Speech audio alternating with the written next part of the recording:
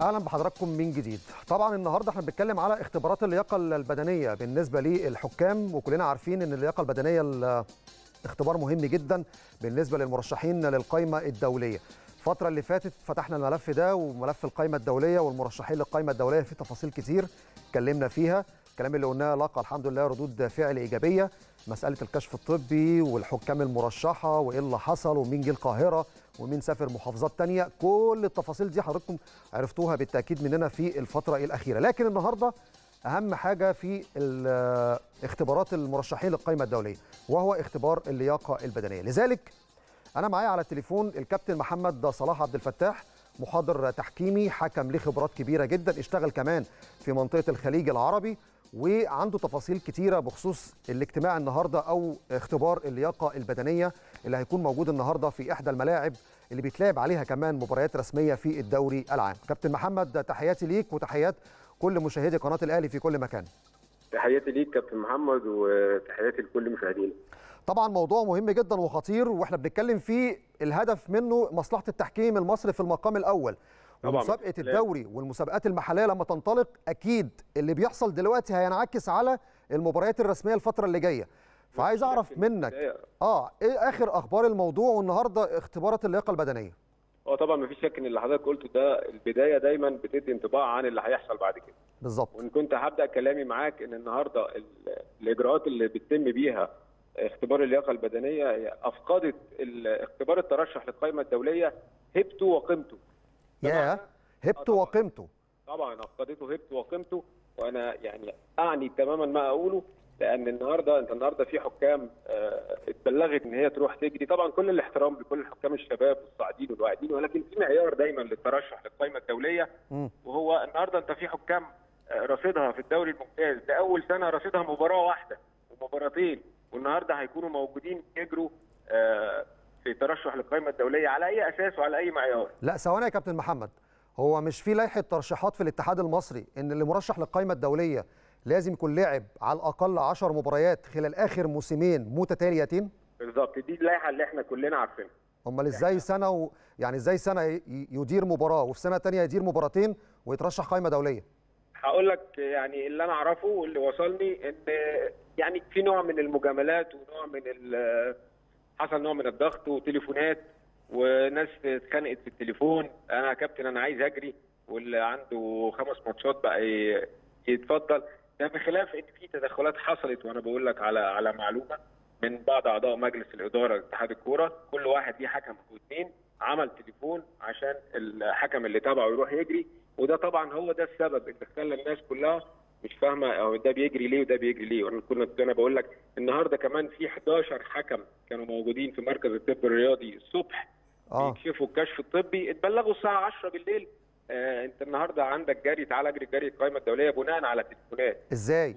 هو مش ال... مش الفيفا قال إن الحكم يجتاز الاختبار الطبي وبعد كده يبقى عنده اختبار لياقة بدنية؟ طبعا أنت لازم ما ينفعش تنزل الملعب إلا لما تكون معاك الكشف الطبي بتاعك بيقول إن أنت لائق طبيا.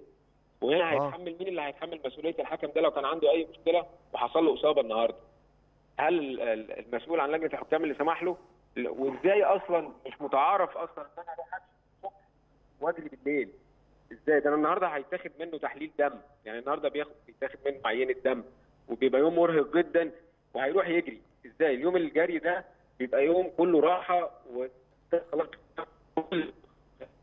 فالأمور ماشية بعشوائية غريبة جدا. ما شفناش قبل كده من يوم ما ما, ما بدأوا كرة القدم في العالم. مش هقول لك آه، من يوم ما إحنا بقينا على التحكيم يعني. طب مين المسؤول عن القصة دي يا كابتن محمد؟ يعني أنا اتكلمت كتير قوي على دور مدير لجنة الحكام الكابتن أحمد أبو العيلة. وأنا بتكلم شغله والله مش بتكلم عن شخصه. آه طبعا. وفي مارك كلاتنبرج رئيس اللجنة المفروض يكون كمان مشرف وبيتابع اللي بيحصل ده. دي أول قائمة دولية في عهده. هل هو كمان موجود النهارده في اختبار اللياقة البدنية؟ بما إنك أكيد موجود دلوقتي في المكان اللي هيتعمل فيه اختبارات اللياقة البدنية. هو هو بال- هو بالفعل هو جه جه امبارح بالليل. تمام. و... وحضر اختبار اللياقة البدنية لكرة الصالات النهارده في في جهاز الرياضة. حضر في الفعل. طبعا هيكون موجود بعد شوية هيحضر فوق الاختبار. ولكن وهنتكلم عن المسؤولية. أنا بقول لك المسؤولية مشتركة ما بين أعضاء مجلس إدارة اتحاد الكورة وما بين المسؤولين في لجنة الحكام. وإن كان ما فيش لجنة حكام خلاص يعني لجنه خلاص قدمت استقالتها آه. المسؤول دلوقتي هو الكابتن أحمد أبو العلا والكابتن تامر دري. وكنت باكد لك إن الكابتن تامر دري ملوش أي علاقة لا من قريب ولا من بعيد عن أي اختيارات أو أي أمور هذا الجانب لكن القرار كله كان في إيد الكابتن أحمد أبو العلا والاتصالات كانت مع الكابتن أحمد أبو العلا. أكيد لأن هو مدير اللجنة هو اللي قدامنا دلوقتي وبنحاسبه على كل الأخطاء اللي بتحصل دلوقتي وكان أبرزها الكشف الطبي. آه طبعا الكشف الطبي ده كمان ده, ده كارثته كارثة ثانية يعني هو النهارده ال- النتائج ما طلعتش بسبب ال- المشهد اللي كل الناس شافته ده طبعا. مم. كان الأمور اتعاملت اتعاملوا بعشوائية. لولا تدخل طبعا الدكتور أشرف صبحي وزير الرياضه ويعني وقف المهزلة دي لأن إحنا عندنا مركز طب رياضي على اعلى مستوى وعايز أقول لك إحنا دايما كل سنة بنكشف فيه. إحنا كحكام يعني لحد أنا قبل ما ابطل حتى آخر سنة كنت بكشف في مركز الطب الرياضي وده الأمر الطبيعي على فكرة.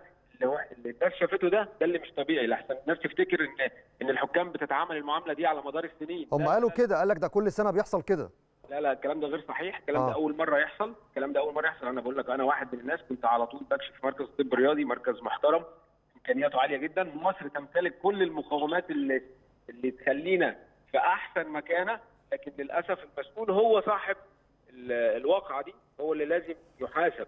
وكنت أنا اتفاجئت إن أحد أعضاء مجلس الإدارة في مداخلة تلفزيونية الدكتور إيهاب الكومي. أنا بلوم عليه إن هو قال إحنا ما نعرفش حاجة عن الكلام ده. أمال مين اللي يعرف؟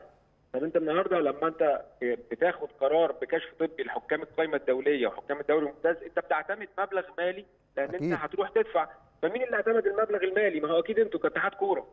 هم كمان واخدين من الأندية 575 ألف جنيه دفعة أولى قبل بداية الدوري عشان الحكام. ف ده واخدين الفلوس مقدم بخلاف إن الحكام لم تتقاضى مستحقاتها المالية من يعني آخر حاجة إبريل ده الدوري الممتاز والقسم الثاني والثالث. وماتشات الجمهورية للناشئين من شهر يناير ما دفعتش مستحقاتها للحكام. طيب النهارده ممكن كم ح... كان يعني كم حكم يجري النهارده في اختبار اللياقة البدنية؟ كان دايما هيعدوا 15 20 هل نشوف ضعف كده ولا كام؟ هيعدوا ال 35 حكم. خمسة؟ يا نهار أبيض ده رقم كبير جدا. 35 حكم بدون معيار وبدون آه، مقياس يعني لازم نأكد على دي. لو لو الكل ينطبق عليه المعيار أهلا وسهلا. لكن أنا بأكد لك تاني وبكرر تاني كلمتي إن النهارده اللي بيحصل أفقد القائمه الدولية والترشح للقائمه الدولية هبته وقيمته طيب في حد من الكاف أو الفيفا النهارده موجود؟ جرى العرف أنا كنت بحضر دايما الاختبار اللياقة البدنية بيجي إمباكي من السنغال. النهارده موجود ولا هيبقى مين اللي مشرف على الاختبار؟ لا هو مش موجود وكان من المفترض إن الكابتن عصام يعني اتقال إن هو كان هيبقى موجود لكن الكابتن عصام النهارده آه، موجود في تونس. في آه، أحد الكورسات بيحاضر هناك لحكام تونس لكن هو مش موجود لأن هو آه، تم استدعائه للكورس ده. كورس. الفار في تونس. آه. لا مش فار لا لا كورس المحاضرين لحكام تونس. تمام. لكن مش فار لا لا. okay. لكن ما فيش حد النهارده بيشرف حتى من الكاف على الاختبارات أو الفيفا؟ المفترض إن كلاتنبرج موجود ولكن خلاص هو عايز أقول لك على حاجة هو أنت النهارده خالفت المعيار فيفا إيه بقى؟ ما أنت خالفت المعيار. كل الناس اللي موجودة في الملعب النهارده ما عندهاش لا تنطبق عليها الشروط. الكشف الطبي خلاص بقى يعني. حتى فيفا انت خلاص انت من البداية خالفت المعيار. طب في مساحة للإعادة تاني؟ هو المفترض إن بيبقى دايما والطبيعي إن بيبقى في إعادة لل... للإختبار. آه. ولكن إمتى الإعادة؟ واخر يوم ل- لإرسال القائمه الدولية هو يوم 25 وأنا المفترض إن أنا عشان أعيد لازم أديك وقت كفاية لأن أنت بعد المجهود البدني اللي بتعمله ده ممكن يحصل إصابة لا قدر الله لحد النهارده. هل. يتعالج في ال لا. 10 أيام دول؟ بقى 10 أيام صعب. صعب جدا. فطبعا حتى تحديد الوقت والإجراءات اللي اتخذت من لجنة الحكام ومن اتحاد الكورة كانت إجراءات خاطئة ومتأخرة وعشان كده إحنا بقينا في المشكلة اللي إحنا فيها النهارده. كابتن محمد ده صراحة أنا بشكرك على جهدك ودورك في الفترة الأخيرة في هذا الملف بصراحة. أنا اللي بشكرك وبشكرك على المداخلة الجميلة دي. شكرا جزيلا كابتن محمد صلاح عبد الفتاح حكم سابق وكان محاضر كمان تحكيمي والكلام اللي قاله ده ما يبشرش بأي خير في الفترة اللي جاية وربنا يستر على مباريات الدوري الفترة الجاية بالأخطاء الكارثية اللي إحنا شايفينها من لجنة الحكام أو تحديدا من مدير اللجنة الحالي الكابتن أحمد أبو العيلة. أخرج إلى فاصل وبعد الفاصل نروح لترند الأهلي ونشوف آخر أخبار الأهلي في السوشيال ميديا.